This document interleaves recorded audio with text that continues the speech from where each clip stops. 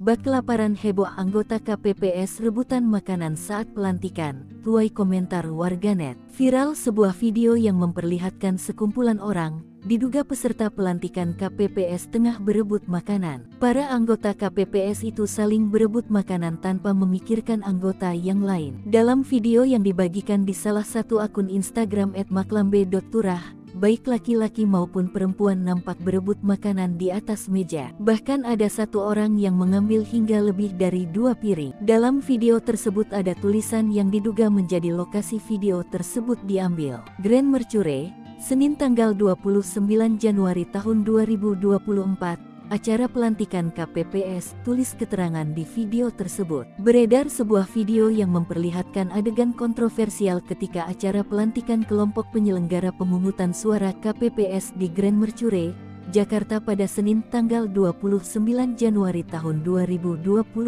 tulis keterangan di unggahan. Kendati demikian, belum dipastikan apakah benar video tersebut diambil saat acara pelantikan KPPS berlangsung. Namun, Video tersebut terlanjur menuai komentar miring dari warganet.